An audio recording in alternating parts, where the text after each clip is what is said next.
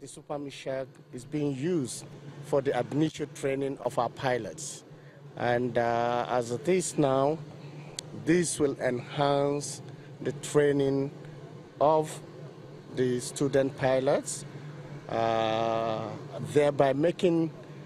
pilot training for these ab initio students to be completed within uh, the time allotted for it and uh, thereafter getting them to go for further training in quick time and finally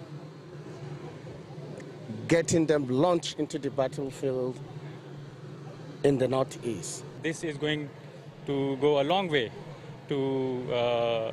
to make the friendship uh, more stronger in between the two countries. And this should definitely increase the capability of the training that already Nigerian Air Force has uh, like uh, Super Mushshak is capable of uh, flying all the maneuvers and the entire envelope of the flying training is can be covered by this Super Mushshak. So we are very hopeful that Nigerian Air Force takes over from us very amicably and we are very forthcoming in providing all sort of uh, training, all sort of uh, maintenance support to them.